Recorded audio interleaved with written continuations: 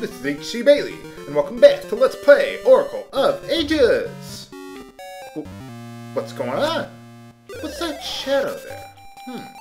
It's a witch! Flying on a little broom. Well, hey, how's it going? Maple, huh? Oh, maple syrup. Yeah, yeah, that's very clever, guys. Ha ha. But anyway, whenever you've killed 30 enemies, which will usually happen after you run out of a dungeon, uh, you'll have a chance of running into Maple. Uh, you can run into her only on specific screens on the map, but anyway, she's looking for a certain book. Hmm. Well, I'll keep that in mind. But anyway, whenever you bump into Maple, both you and her will drop some items. So now you basically race to see who can get all the items first, or as many as you can. And usually you should be able to get more than her. Sometimes she'll drop some pretty rare stuff too, like random rings, uh, a heart piece even, which, well, I'll just get naturally over the course of the game, but there's, or you can get a Gasha seed, um, magic potion, or whatever the potion is called in this game. So anyway, let's help that ghost out there. Yeah, just keep Maple in mind for later. You really do want to kill a lot of enemies, so that way you can get the heart piece at some point before the end of the game. And I've never had trouble getting it. I usually get it naturally. I never have to, like, grind to get it, so... Well, that was easy. So just help the ghost get into his grave, huh? Or...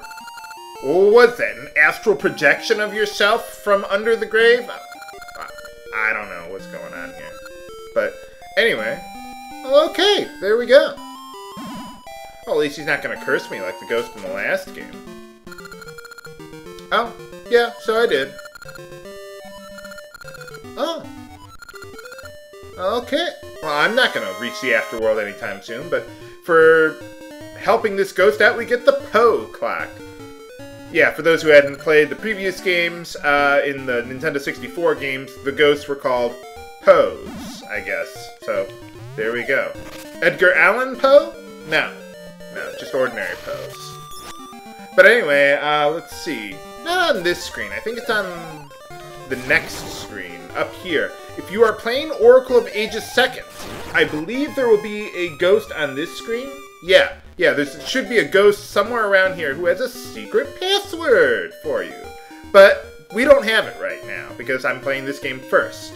I may decide to do some bonus episodes to show that to you, but for right now, eh, or, you know, I don't know. Maybe I will, maybe I won't. But anyway, oh, oops. Uh, actually, well, the reason I'm inserting this little scene in here is because when I originally recorded this, I forgot about heart piece number three down here. So, yeah, somehow I forgot about that. But, uh, okay. So, yeah, now I got the heart piece. So, now let's, uh, get back on up here. The tree hasn't fully grown yet. Well, that's odd. Huh.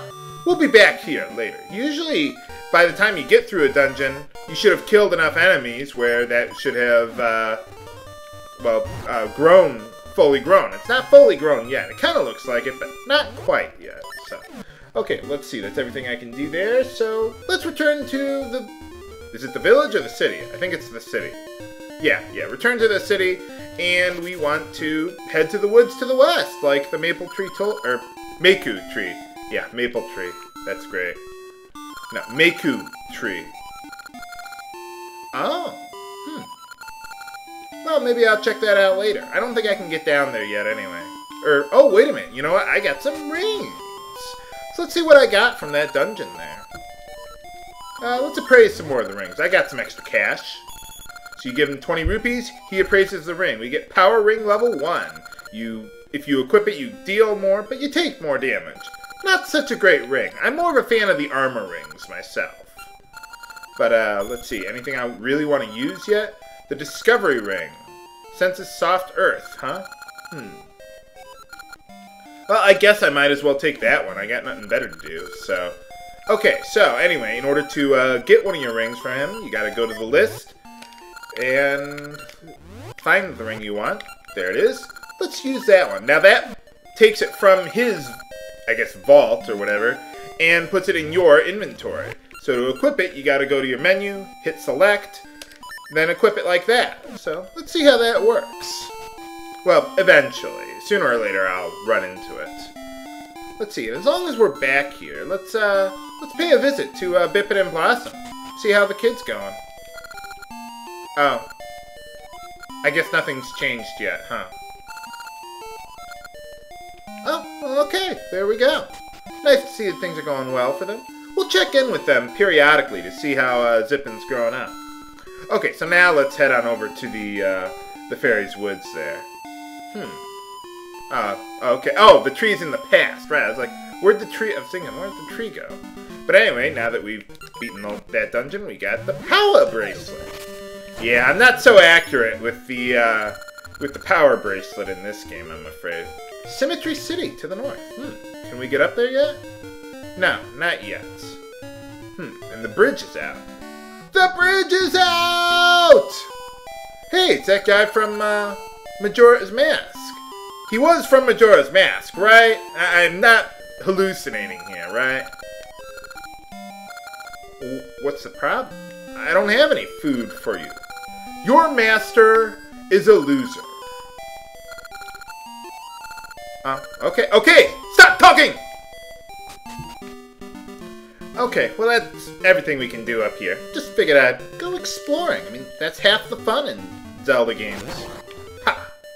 And killing octopi. Why not? Not a big fan of seafood. Whoa! I like the music in Oracle of Ages. I need to remember to talk that talk about that more often.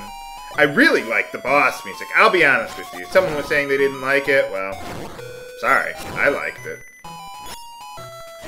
Let's see. More treasure? No. Okay, okay. Enough mowing lawn. I, I don't like doing it in real life, but in games, hey, you never know, you might find some treasure under there. Hmm, I can't get to that chest there. Yet. If only there were an item that could let me get that. Let's see. Well, let's keep on looking around here. Hmm, I wonder what all that stuff is in the water there. Looks funny. What? Wasn't I just on this screen? Well, what's going on? Oh. Hmm. Well, let's head on up here. Whoa! I suppose this is the fairies' woods. They look like bunny fairies to me. Um, okay. Oh, great. What is this, like the raccoon in the last game? Nuts. So anyway, now what we gotta do, the reason why the screen was repeating earlier there was because of these freaking fairies! So what we have to do is find all of them in order to, I guess, unlock the, the fairy's woods or something. So, let's see. Was this the one? No, no, it was another. Yeah, you heard that noise there? That was from the uh, Discovery Ring. That means that there's a secret so uh, patch of soil. Sorry. But anyway, now we gotta find those fairies here. Uh, haha! There we go. Yeah, if you just keep on going like back and forth between two screens, you'll usually end up finding one somehow. That's my strategy. Not that it's really a strategy, but hmm. Let's see. See, I've already been there. No, that didn't work out too well. Hmm. Let's try left and right. Haha! -ha! There we go. I know there's one over here. Found a secret fairy! Alright Let's see. Already been there. Hmm. Haha! -ha! There we go! Last one. No?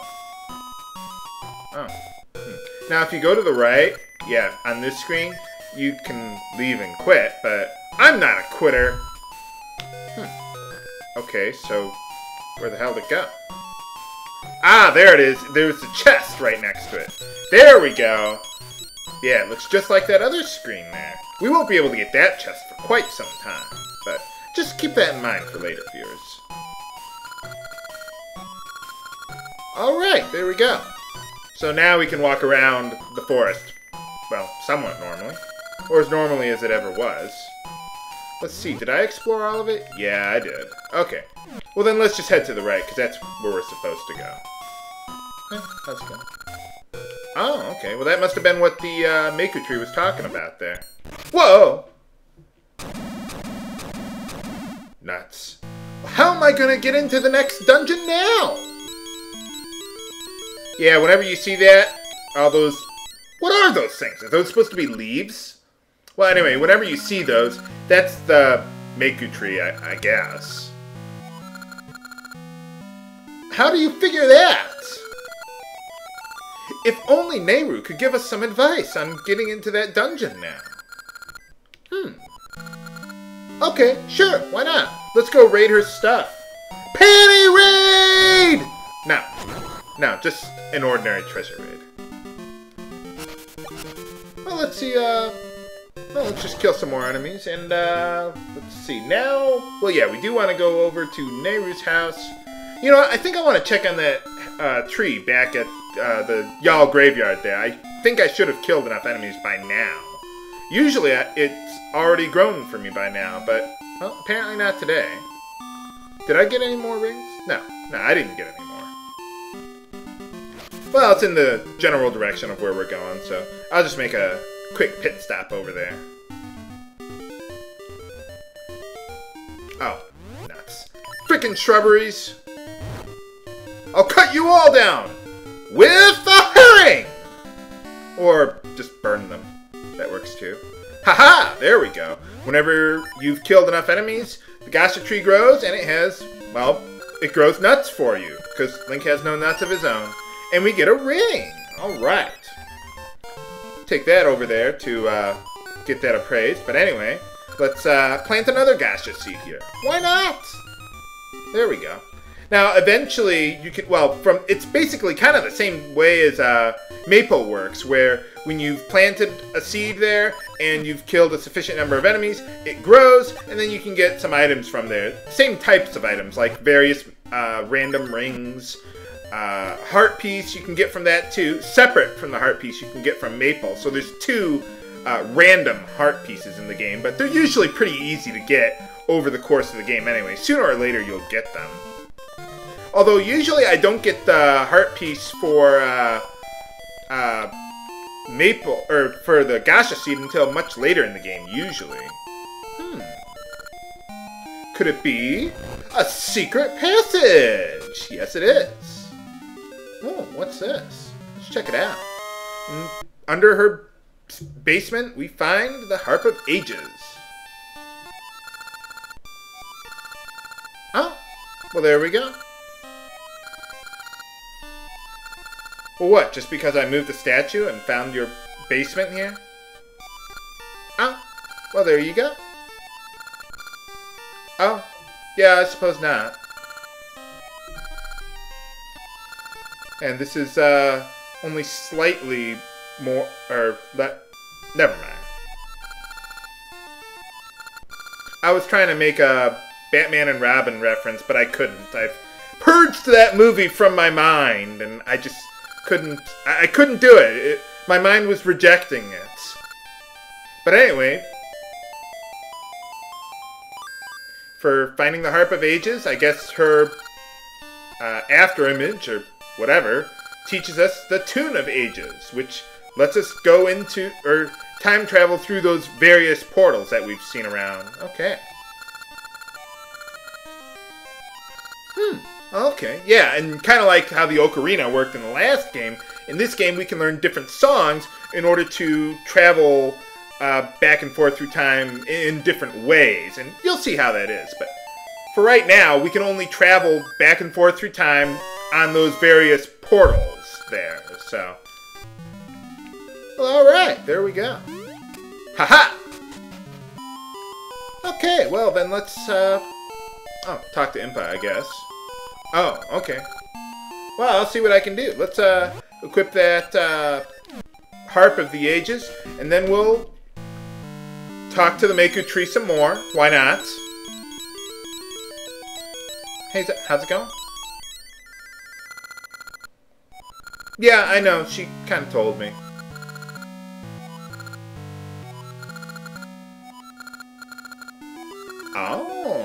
Maybe we should check out the, those woods in the past there with our Harp of the Ages. Next time on Let's Play Oracle of Ages! This is HC Bailly, signing off. Have a good day!